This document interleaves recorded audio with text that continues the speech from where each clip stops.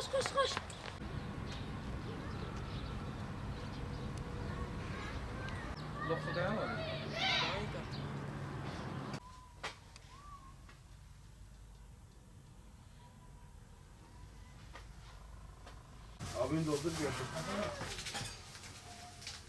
Dün gece e, başımıza e, talihsiz bir olay geldi. Kırkızlık olayı.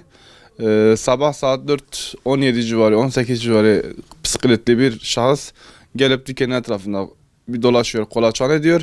Bisikletini bırakıyor, bütün arka tarafa, dükkanın arka tarafına gidip orada e, bir eve daha girerek e, bir şeyler çalmaya çalışıyor. Bir şeyler bulamayınca tekrardan benim dükkana yöneliyor. Saat 5.50 civarı benim dükkanımın kapısını, göbeğini kırmak suretiyle benim dükkana giriyor. Benim rafımda bulunan 2,5 milyara yaklaşık bir sigaram ve bir miktar paramı alıp götürüyor. Ona bu e, bir zarar oluyor. Ve ben e, güvenlik kameram olduğundan dolayı emniyete bilgi verdim. Emniyet geldi, görüntüleri aldı. E, şikayetçi oldum. Şu an savcılıkta şikayetçiyim bundan.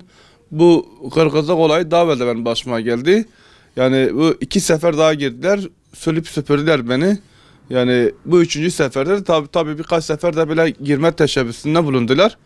Ee, sadece direği söyleyeyim ben emniyeti çağırdım. Emniyet geldiği zaman buraya emniyet 5 dakika mesela burada bekledi. 5 dakika içinde iki tane anons emniyete geldi.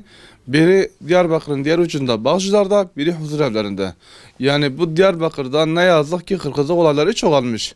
Yani bununla ilgili özellikle biz kendi yani kendi bölgemiz adına, kendi mahallemiz adına biz diyoruz ki sosyal konutlara bir, bir tane emniyet bek- bekçisi olur, güvenlik kulübü olur, ne bileyim e, bir güvenlik kamerası olur. Yani biz gü- güç güvenlik gücü, gücü istiyoruz. Burada güvenliğimizin sağlanmasını istiyoruz. Ve bunun e, neticesinde zaten biz bunun talebini, dilekçesini vermişiz. Hani bu oluşsun diye, bu yapılsın diye dilekçemizi vermişiz. Şimdi burada en yakın karakol huzur evleri karakolu. Çok uzak bize kalıyor. Ben zaten gelen devriye ekiplerine şunu tavsiye ediyorum. Emniyet birimlerine bunu tavsiye ediyorum. Ya ben gece 12'den sonra bu sosyal konutlarda gezen herhangi bir tane birini arasınlar, üst aramasını yapsınlar. Mutlaka o adamın üstünde kırgızlık yapmak için gerekli aletler bulunacaktır. Çünkü gecenin 12'sinde bu soğuğunda ne geziyor bisikletle bu adam? Şahıs net bir şekilde eşkali bellidir.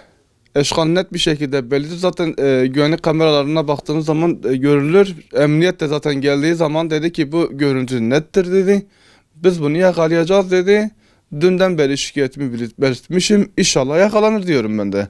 Yani ben e, kırkızlık olayı için ben şimdi şu şekil söyleyeyim. Hani 3 gün sonra olmayacağının bir garantisi yok burada. Ben öyle söyleyeyim yani. Herhangi bir güvenlik önlemi yok şu an burada.